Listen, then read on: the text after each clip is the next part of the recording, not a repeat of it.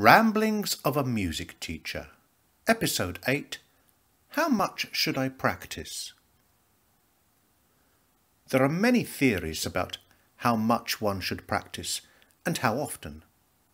For example, on an ABRSM forum I recently read, someone advised 15 minutes a day for grade 1 up to an hour and a half per day for grade 8. Whether you agree with this or not, I think the question itself completely misses the point.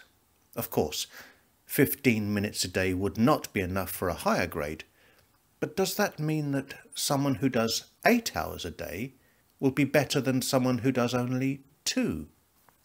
Not necessarily.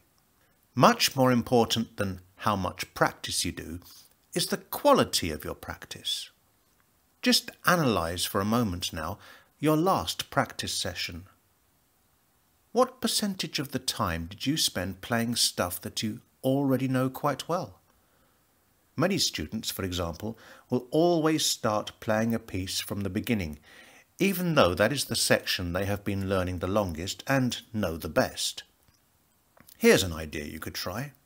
Imagine you have a long piece you've been working on and you could divide it into four sections. Let's call them A, B, C and D.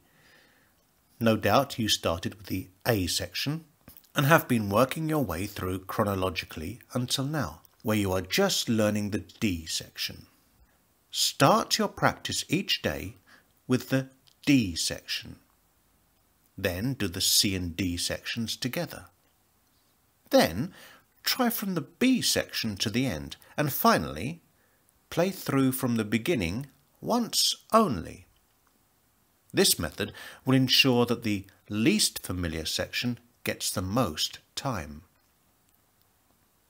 Whatever method you use, make sure you spend the most time on the thing that needs the most work.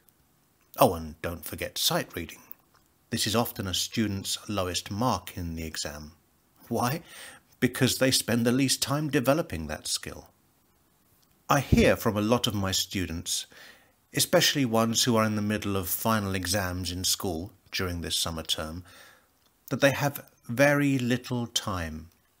I have some sympathy, but I am a firm believer that if you really want to do something, you will find the time to do it. Back in the day when GCSEs used to be called O-levels, I took grade 8 on two instruments, within a week of each other, in the same term as I took nine O levels.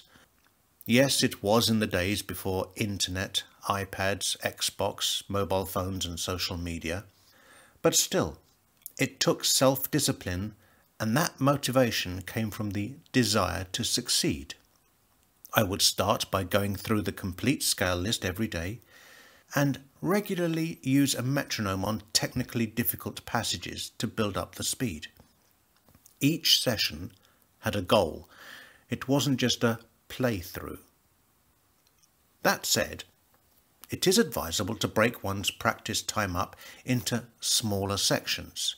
Your mind will be fresher if you take a break, and you could even cause yourself injury by practicing too long in one go. If you are doing other exams at the same time, music could also be a break from such academic pursuits, and vice versa. So instead of me prescribing exactly how long you should practice, which you might have been expecting when you saw the title, I would prefer that you went away with more thought about how you practice.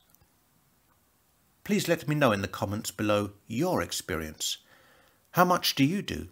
And how do you structure your practice? As always, Thank you for listening and tune in next Thursday for more ramblings of a music teacher.